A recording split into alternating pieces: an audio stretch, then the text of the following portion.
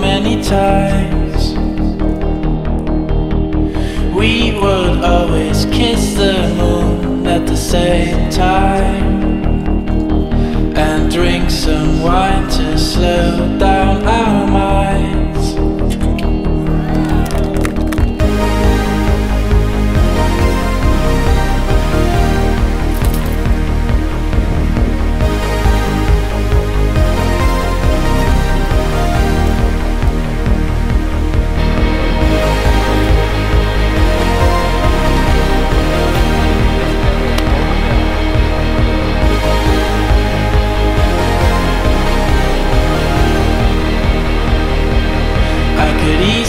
take another shot.